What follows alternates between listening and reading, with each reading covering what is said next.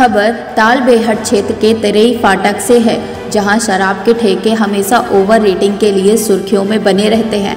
आपको बता दें कि प्रशासन ने शराब ठेका खोलने का समय सुबह 10 बजे से शाम 10 बजे तक निर्धारित किया था, लेकिन तेरई फाटक देसी शराब का ठेके पर दुकानदार शासन प्रशासन के निर्देशों की धज्जियाँ उड़ा रहे हैं। रात के 11 बजे तक शराब की दुकानों पर शराब बिक्री की जा रही है। ओवर रेटिंग से शराब बेची जा रही है, जिसका एक वीडियो सोशल मीडिया पे काफ़ी वायरल हो रहा है। ब्यूरो रिपोर्ट आई